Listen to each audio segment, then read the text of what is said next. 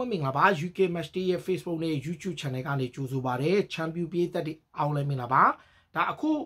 ဘယ်လိုပြောမလဲဆိုတော့ဒါ Chelsea အသင်းကရာသီအစပေါ့လေကျွန်တော်တို့ Ansu Maresca ကိုကျွန်တော်တို့စပြီးခန့်လိုက်တဲ့အချိန်မှာဒါကျွန်တော်ကိုယ်တိုင်ရော Chelsea ပြေးသက်တော်တော်များများဘယ်သူမှမကြိုက်ကြဘူး Mauricio Pochettino ကိုထားတဲ့နေဘာညာနဲ့ဒါထားပါတော့ Pochettino ရဲ့ရာသီပိတ်လေးကလည်းတော်တော်လေးကောင်းတဲ့ချိန်အခု Chelsea ပြေးသက်တော်တော်များများကြားမှာ Ansu Maresca အပေါ်ကို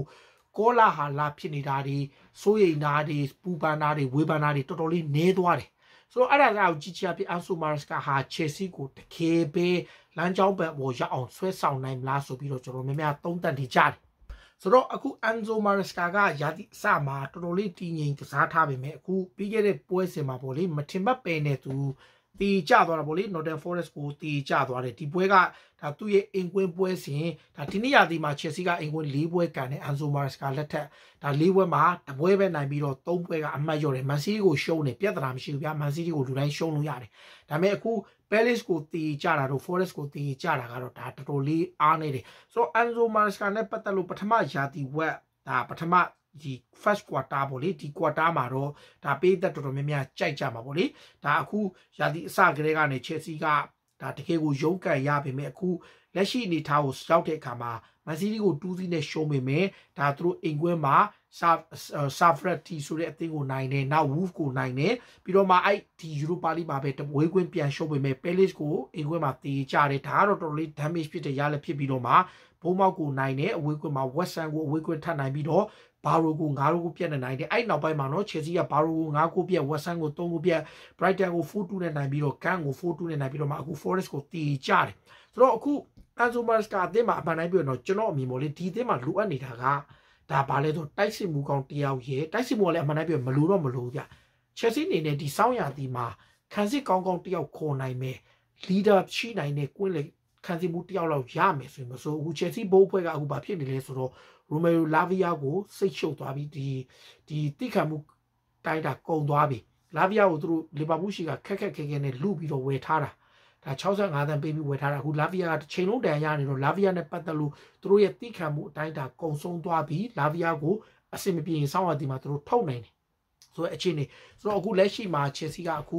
အခုအသိမကြဘူးဘန်ချီဝဲလဲထွက်ဖို့များတယ်ဒါအသင်းကောင်းဆောင်ဒါဘယ်လိုပြောမလဲ reach လည်းအခြေအနေမကောင်းဘူးဆိုတော့ကျွန်တော်မြင်တော့ Anzo Maresca အသင်းကအခု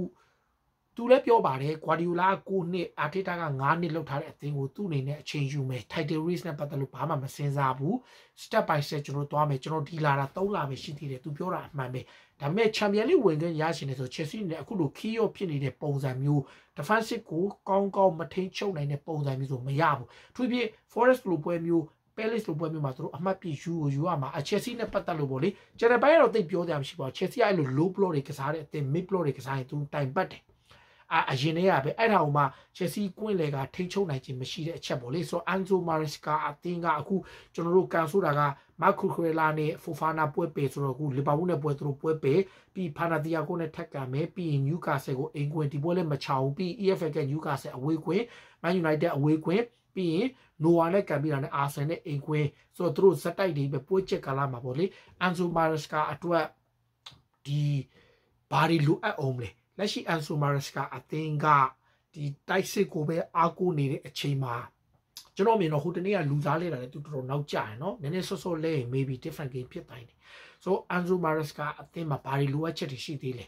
ခံကျွန်တော်ကတော့အဓိကတော့ခံစစ်ပိုင်းရေပြီးတော့ကွင်းလေကိုထိန်းချောင်းပြီးတော့ ကွင်းလေကို control လုပ်ပြီးပွဲတစ်ခုလုံးကိုစိုးမိုးထားနိုင်တဲ့ကွင်းလေမျိုးလေးလိုအပ်တယ်အန်ဇိုနဲ့ခိုင်စီရိုကောင်းတာတော့မှန်တယ်ဒါပေမဲ့ Chelsea ကအရန်ကြီး attacking line အရန်ကြီးအတိုက်စစ်လုံပြီးတော့ဒါ undermate map တော့ပြီးတယ်ဒါပေမဲ့ခံစစ်ကပေါက်ကြီးဖြစ်နေတဲ့အချက်ပေါ့လေခံစစ်ကိုလည်း protect လုပ်ပြီးမယ် attacking ကိုလည်းဟန်ချက်ညီသွားနေနဲ့ကွင်းလေက leader ရဲ့ခံစစ်က leader ရဲ့အဲ့ဒါပဲစမ်းချက်လည်းတော့မစုံဘူးဗျဒါအခုစေတာစေတာစမ်းချက်လည်းဒီတိုင်းပဲတိတ်မကွာဘူး Chelsea ပြည်သက်တွေဘယ်လိုမြင်ကြလဲကိုမမှာဝေယမှတ်ချက်ပေးကြပါအလုံးကျေးဇူးတင်ပါတယ်